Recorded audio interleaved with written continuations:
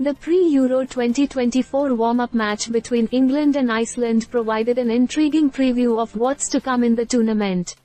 Let's delve into the key moments and player performances from various perspectives. Starting with the New York Times, their live blog captured the pulsating action as it unfolded. The match was closely followed by fans worldwide, and the blog provided minute-by-minute updates, keeping enthusiasts on the edge of their seats.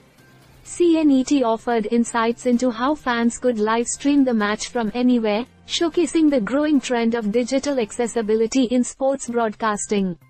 The convenience of streaming services has revolutionized how people consume sports content globally.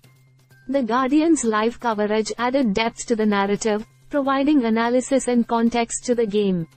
Their comprehensive reporting highlighted the significance of this fixture in shaping both teams' strategies heading into the Euro 2024 tournament. Meanwhile, The Independent focused on the live stream and score updates, catering to the demand for real-time information among football enthusiasts. Such platforms play a crucial role in keeping fans engaged and informed throughout the match. Goal. Cons player ratings shed light on individual performances, offering a nuanced perspective on the game. Evaluating players like Aaron Ramsdale and Harry Kane, the ratings sparked debates among fans and pundits alike, adding another layer of excitement to the post-match analysis. The Telegraph's player ratings further dissected the performances, providing detailed insights into key players' contributions.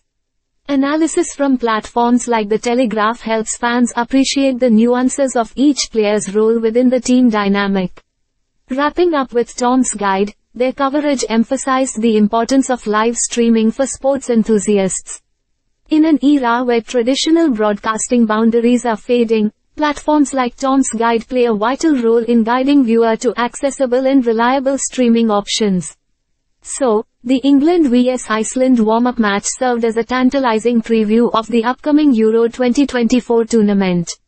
From live updates to player ratings, various platforms provided diverse perspectives, enriching the overall viewing experience for football fans worldwide.